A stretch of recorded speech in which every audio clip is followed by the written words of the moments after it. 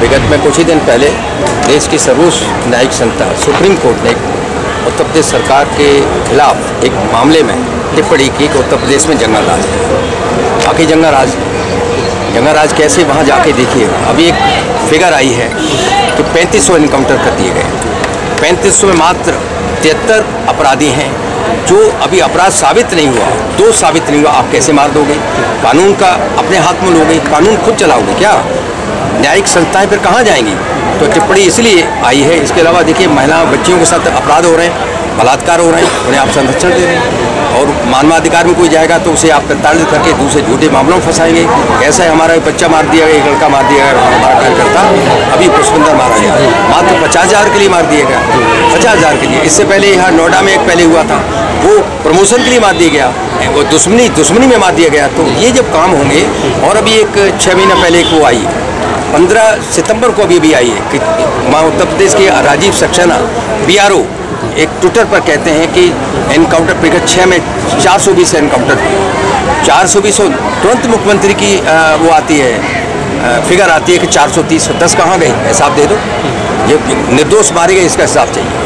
जनता के साथ ऐसा नहीं है। आप सुशासन के लिए आए हो, कुशासन करने के लिए नहीं। हम अपनी मांग करें, महामहिम राष्ट्रपति जी मांग कर रहे हैं कि आप इनको बर्खास्त करो और हमें हिसाब दो, जो हमने मांगा है। मांगों में सब लिखा हुआ है कि निर्दोषों को मारे जाके उसका हिसाब देना देना है। इनसे मांगिए आप इनसे। वहाँ के उत्तर प्रदेश सरकार से आप राष्ट्रपति जी, महामहिम है। आप मेरा, हमारा अधिकार है हम समाजवादियों का। जनता की आवाज़ें उठाएँ कैसे? भाई पॉलिटिकल पार्टी उठाती है अब तानाशाह नहीं है।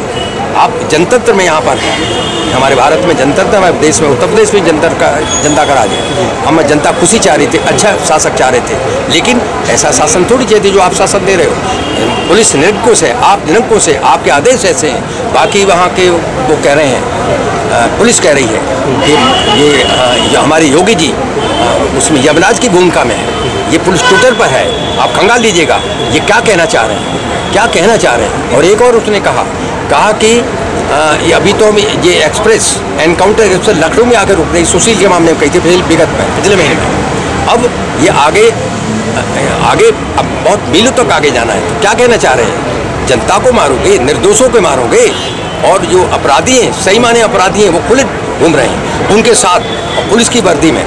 पुलिस की वर्दी जनता को मारोगे। ये कैसे? हम आवाज़ नहीं उठाएगी जनता आवाज़ उठाएगी समाजवादी आगे बिहार में बिहार में जिस समय पर लालू जी की सरकार थी उस समय पर गुंडा राज या जंगल राज यही बीजेपी के लोग बोलते थे। और आज यूपी में या देश भर में जो बीजेपी के राज में चल रहा है और इसको विकास का नाम देते थे इस विषय पर आप क्या कहें? विकास विकास तो है ही नहीं। विकास तो सही माने में अभी अखिलेश यादव कर रहे थे। वो विकास था। विकास के उसको तो घुमा देते हैं। देश के लिए हिंदू, मुस्लिम करने लगते हैं। धर्म अंधता में हमारे बच्चों को ख़राब कर रहे हैं। बच्चे भी हमारे मुगालते में हैं। इनकी उसमें बातों में आ गए। और जब पीछे मुड़ के देखेंगे, तब तक बहुत देर हो चुकी होगी। बहुत देर हो चुकी है पिटाई अलग से। झुकाई अलग से करने करने का है तो गुमराह कर रहे हैं लोग। गलत बातें, झूठ झूठ बयानी करके गुमराह करके और लोगों को देश को किधर ले जा रहे हैं? जनतंत्र है। ये तानाशाही नहीं है। डिक्टेटरशिप नहीं है। जनतंत्र में जनता की बातें जनता की आवाज़ उठाएँगे। आवाज़ उठाते आवाज़ दबाने की कोशिश की जा रही है। तो ऐसा नहीं चलेगा। जनता जनता है।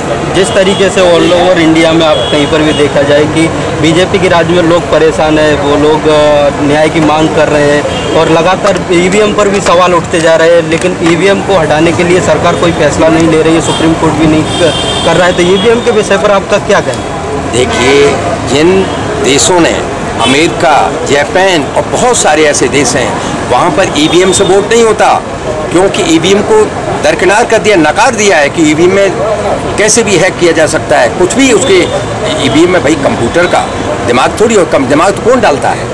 इंसान डालता है। जैसे डाटा उसमें फ़ीड करोगे, वैसे ही उसमें रिज़ल्ट आप दे दो जाके जब वो लोग नहीं कर रहे हैं तो आप क्यों कर रहे हैं? आप ईवीएम पे इतना ज़्यादा भरोसा कैसे कर रहे हैं? हम कितनी मांग कर रहे हैं जाके? कितना पैसा, दुनिया का पैसा लूट लूट के यहाँ पर लोग लिए जा रहे हैं। और ईवीएम पर ये कह रहे हैं कि धन ज़्यादा खर्च होगा। गलत बात, बिल्कुल गलत बात। इसको हम विरोध करते हैं और ईवीएम से होना ही नहीं चाहिए। बैलेट पेपर से होना चाहिए। दूध का दूध, पानी, हंस भाव आ जाएगा। दूध का दूध, पानी का पानी जनता के बीच में हो जाएगा। हवाला दिया। बिल्कुल यूपी में बहुत जंगल राज है। एनी दिन पुष्पेंद्र यादव का मर्डर किया जा रहा है। उनके जो अधिकारी हैं आप आप एक बार सोचिए जो पुष्पेंद्र यादव था एक कह रहे थे कि खनन माफिया है। यूपी में ऐसा कोई इस टाइम नेता नहीं जो खनन माफिया कौन नहीं है? क्या उनके विधायक खनन माफिया नहीं है? आप बताइए। आप मीडिया पत्रकार भाई बंधु आप बताइए कि मीडिया है कि नहीं है? बहुत सारे ऐसे लोग हैं। क्या होता है कि जो जो पुष्पेंद्र यादव था जो बड़े लेवल के बंदे थे अधिकारी था उसके ट्रक को रोक लिया गया।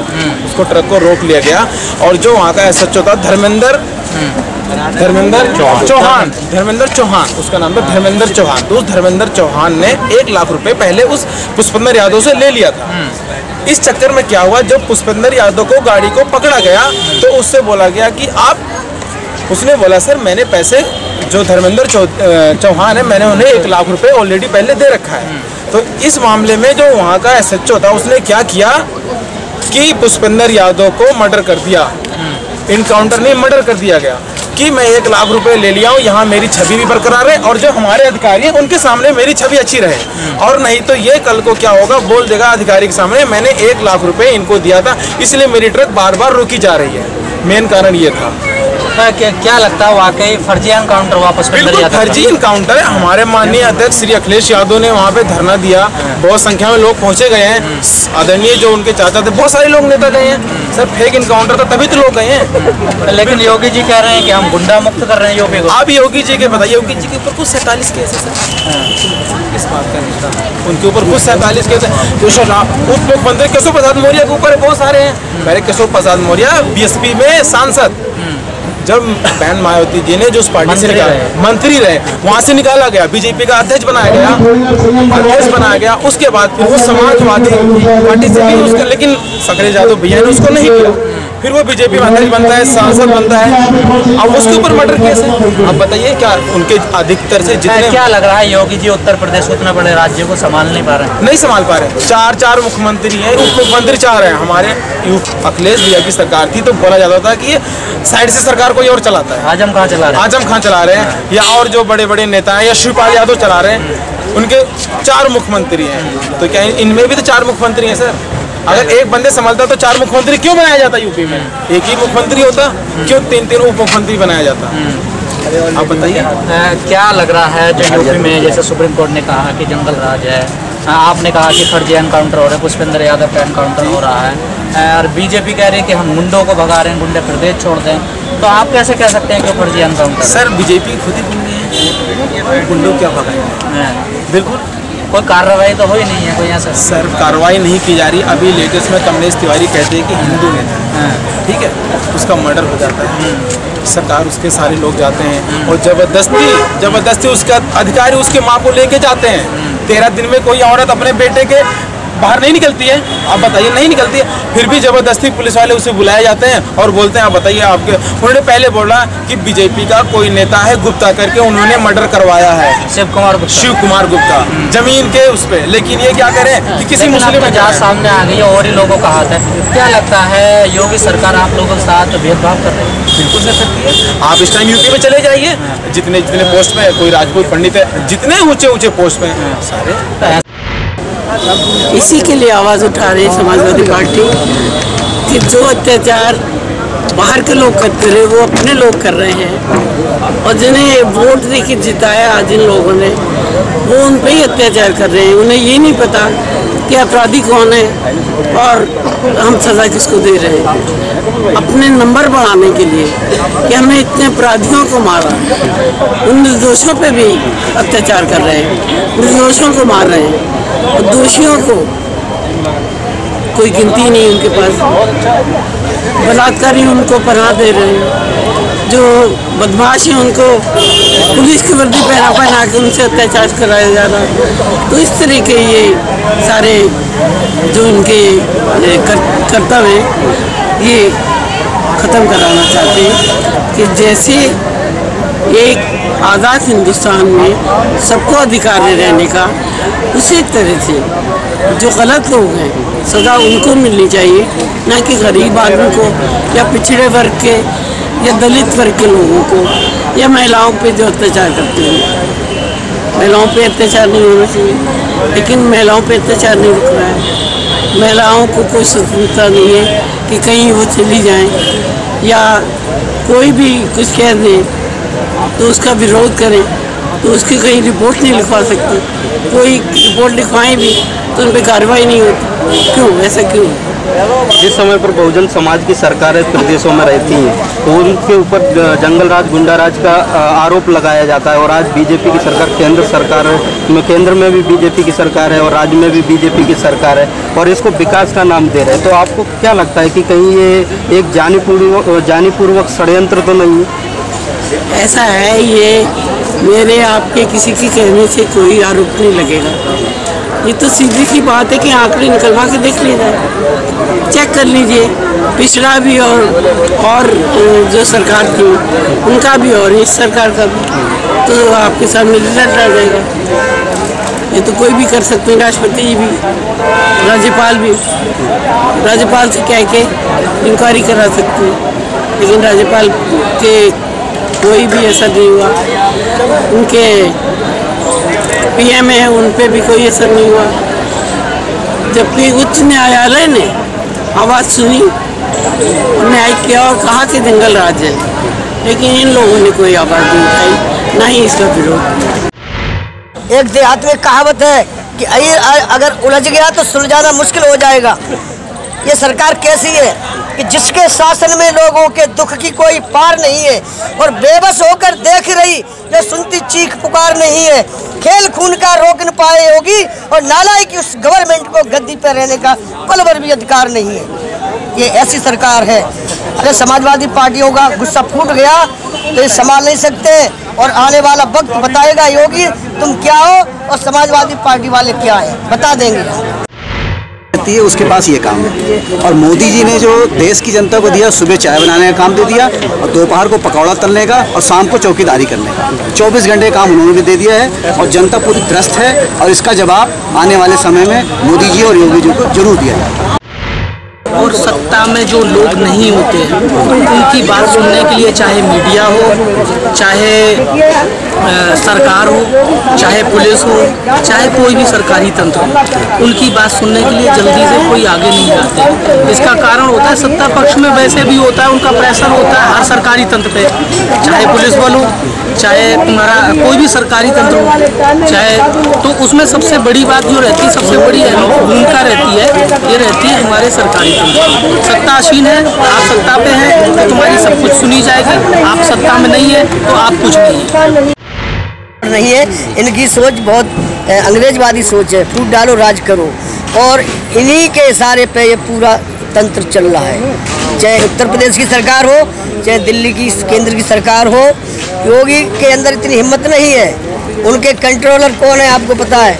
अमित शाह जी, अमित शाह जी को दुनिया जान गई है, सब जानते हैं भारतवर्ष जानता है। और आने वाले टाइम पे इन लोगों का वक्त अच्छा नहीं है। बता दूँगा, समाजवादी पार्टी क्या है? कोई बात नहीं, समय का परिवर्तन है। हवा चलती है, कभी बंद होती है, मौसम बदलता है, कभी गर्मी, कभी सर्दी, कोई दिक्कत नहीं है। ये कष्ट है झेल लेंगे आने वाले टाइम में बता दूँगा इनको। डॉक्टर साहब आपने कहा कि ये जो इनकी नीति है वो अंग्रेज़ों की तरह फूट डालो राज करो। लेकिन इस जाति व्यवस्था का तो निर्माण अंग्रेज़ों के आने के पहले ही हो गया था। और जो छः जा- छः हज़ार सात सौ तैंतालीस जातियों में बांटा या वर्ण व्यवस्था में हमको बांटा तो इसको अंग्रेज़ों की बात रणनीति कैसे कह सकते देखिए ये अपने मतलब के लिए सब बिरादरी को एक मोमडन को छोड़ के कहते हैं आप मेरे हिंदू भाई हो आप मेरे हिंदू भाई हो आप मेरे संगठन भाई है।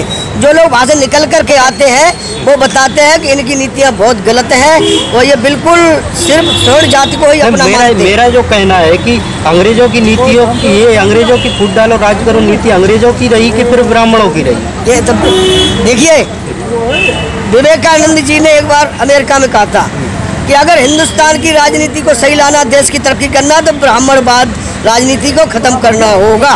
तो तरक्की हो सकती, वरना नहीं हो सकती। और वही हो रहा है। ये पंद्रह परसेंट लोग मौज कर रहे हैं, हम पचासी परसेंट मेहनत कर रहे हैं। और पड़ोस के इनको घी, मलाई, दूध इनको दे दिया जाता है, बाद में हमको जूतियों से, लाठियों से मारते हैं। ये क्या है? पुष्पेंद्र यादव की क्या गलती थी? अगले ने पैसे दे दिए, फिर दोबारा और मांग रहे हैं, अगले पे नहीं है पैसे। उसे साफ़ मना कर दिया। अगर मेरे साथ तंग करोगे, मेरे पास आपकी क्लिप है, आपकी बर्डिंग है मेरे पास। समझो? ये पुलिस के भेष में योगी के गुंडे आते हैं और इनकाउंटर करके चले जाते हैं। तो ईवीएम के विषय पर आपका क्या कहना है? ईवीएम का भी मत जानना बहुत ज़रूरी है, क्योंकि नेताजी हमेशा ईवीएम पर बोलते रहे ईवीएम का विरोध करते रहे। तो आप ईवीएम के बारे में क्या आज मैं गारंटी से कहता हूँ, और पूरा हिंदुस्तान कहता है कि अगर ईवीएम के बिना इलेक्शन कराया जाए तो इनका पत्ता साफ़ है, बिल्कुल। जैसे भेड़ के ऊपर से ऊँट खत्म हो जाती है ना, कर देते, ऐसा इनका हाल हो जाएगा। इनको डर है। अरे डर नहीं है तो आप ईवीएम को खत्म करो आप। विदेश में जब मशीन बनाते हैं, वो खुद कहते हैं, हम नहीं, यहाँ से इलेक्शन कर इनके बीजेपी के नेता ने खुद कहा है कि बटन कहीं भी दबाओगे मोहर वही लगेगी बीजेपी पे। बीजेपी के नेता ने खुद कहा है। और एक, पी के यादव जी शायद, छत्तीसगढ़ के, उन्होंने इतना विरोध किया पुष्पेंद्र यादव के कांड पे। बोले, बिल्कुल सरेआम, ये गलती है योगी की। और हम तो कहते हैं, राष्ट्रपति महिम जी से, प्रधानमंत्री से, योगी सरकार को बर्खास्त करो, राष्ट्रपति शासन लागू किया जाए। अगर बाकी व्यवस्था ठीक करनी है, नहीं तो इस राज्य में अगर अहिर भड़क गया ना तो संभाले नहीं संभलेगा। ये गारंटी से कहता हूँ मैं। ईवीएम पर अगर आपको और कुछ बोलना है तो ईवीएम पर आप बोल सकते हैं। हम तो चाहते हैं ईवीएम बंद की जाए। हम इसका समर्थन करते हैं हंड्रेड परसेंट समर्थन करते आने वाले समय में बड़ा आंदोलन में आप सहभागी होंगे बिल्कुल होंगे। आंदोलन करेंगे। बिल्कुल करेंगे।